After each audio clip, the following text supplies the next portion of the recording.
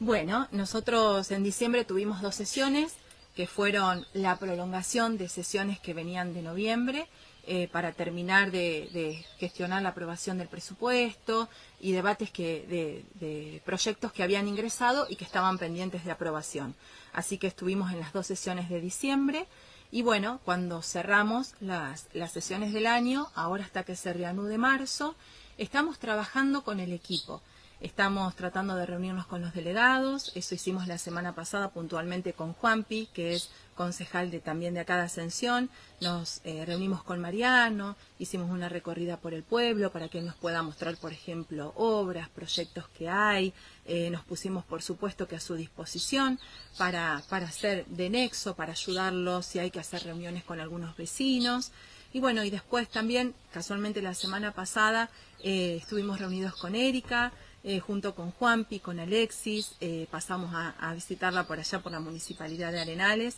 para charlar un poquito con ella también, para ponernos a disposición, para, para escuchar, para, para ponernos al tanto de las situaciones, eh, porque bueno, si bien hasta marzo las sesiones, como vos decías, no se reanudan, la idea es que sigamos en contacto y que usemos este tiempo más que nada de aprendizaje, porque uno viene desde otro lugar, desde otro trabajo y, me parece que es súper productivo que usemos este tiempo para seguir trabajando con el equipo, pero sobre todo para prepararnos para lo que viene. Mira, de los vecinos he recibido muchísimos mensajes, eh, la mayoría se dirige por, por WhatsApp o por mismo Instagram, nos han escrito o charlando en la calle. Eh, agradezco que la gente entiende la situación, eso como primer punto. Me parece que que por lo menos en, lo particular, con todos los que he charlado, entendemos que esto es una situación que nos afecta directamente a todos. Eh, a nosotros nos tocó en las sesiones que te decía anteriormente aprobar un presupuesto cuando en realidad, por ejemplo, provincia y nación todavía no se sabía los números que iban a manejar. Es, a, a esa situación estamos, ¿no? Entonces es como que el vecino entiende que la crisis nos afecta directamente a todos y me parece que, que además de escuchar, lo que tratamos también es de, de ese tipo de enseñanza que uno va haciendo en lo diario, de, de, de escucha primero, de tomar nota y, y, de explicar que desde el municipio se va a tratar de abrazar, por supuesto, todas las necesidades,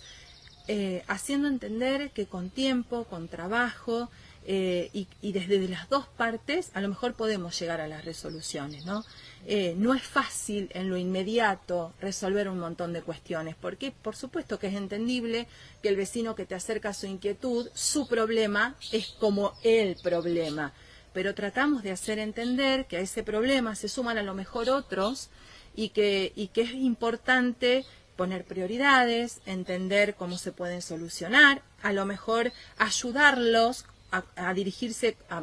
acompañarlos a quién se tienen que dirigir. Entonces, bueno, estamos en eso. Como, un acompañamiento. Exacto, y en la reorganización y, hacernos visibles, por supuesto. Es la de reglamento. Eh, eh, me he puesto en contacto con los compañeros del bloque. Eh, y siempre charlando, preguntando cuáles son los procedimientos y cómo, cómo se realizan, y ellos siempre, la verdad, que nos han recibido a los nuevos de una forma súper afectuosa y con un acompañamiento hermoso. Y después, en el área de, género, que me toca también eh, trabajar, me parece que es un área importantísima para abrirla, como vienen trabajando las chicas, a la sociedad. Eh, bueno, conozco a Marianela, a Maricel, que trabajan en el área y, y sé de su compromiso y, de, y, sé de su dedicación y me parece fundamental, un área que viene trabajando súper bien y, desde ya que ya me he puesto a disposición de ellas para acompañarlas, para abrirlas a las escuelas, a todas las áreas de trabajo,